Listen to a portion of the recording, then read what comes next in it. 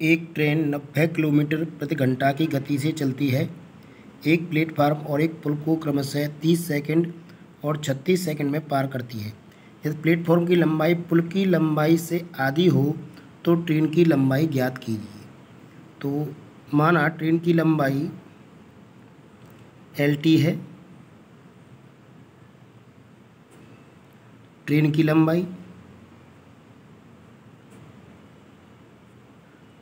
L P हमारी है platform की लंबाई।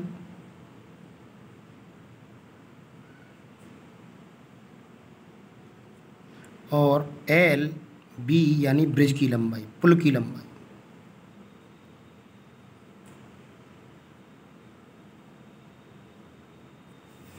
अब लगाएँगे हम कि जब कोई ट्रेन किसी पुल या ब्रिज प्लेटफॉर्म को पार करती है तो अपनी लंबाई प्लस पुल की लंबाई की बराबर दूरी तय करती है।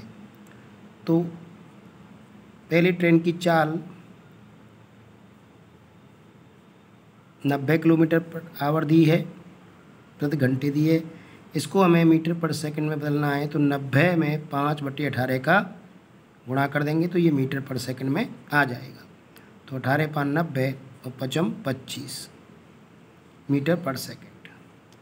अब ट्रेन प्लेटफॉर्म को पार करती है तीस सेकंड में तो तीस सेकंड समय बराबर दूरी तो ट्रेन की लंबाई प्लस प्लेटफॉर्म की लंबाई बटे ट्रेन की चाल, पच्चीस। क्रॉस मल्टीप्लाई करेंगे तो हमें मिलेगा L T plus L P बराबर पच्चीस पचहत्तर, सात सौ पचास। ये हमारा पहला समीकरण होगा। दूसरा, जब प्लेटफॉर्म को किसी पुल को पार कर रही है तो छत्तीस सेकंड में तो L T plus L B length of train plus length of bridge upon उसकी चाल पच्चीस तो यहाँ से हमें मिलेगा length of train plus length of bridge equal to पच्चीस गुणा छत्तीस तो पच्चीस छिके एक से पचास पंद्रह कैरी आ गया, पच्चीस पचहत्तर और पंद्रह हमारा हो गया नब्बे। तो ये आ गया नौ सौ। अब हमारे पास दो समीकरण हैं। ये भी दिया हुआ है कि यदि प्लेटफॉर्म की लंबाई पुल की लंबाई से आधी है, यानी length of platform equal to length of bridge by two. ये भी दिया हुआ है, ये मेरा तीसरा इक्वेशन हो जाएगा हमारा। तो इस तरह से हमें इनको सॉल्व करना है। फ़र्स्ट एवं सेकंड को घटा देने पर तो घटाने पर हमारा ये L T L T cut जाएगा और L P minus L B बराबर आ जाएगा। सात सौ पचास में से नौ गैस हो गई तो माइनस का डेढ़ सौ। यहाँ पर एल पी की जगह पर रख देंगे एल बी वाई टू, जो कि हमें दिया हुआ है, माइनस एल बी बराबर एक से पचास। ये बचेगा minus L B by two. बराबर एक से पचास, माइनस से माइनस कट गया।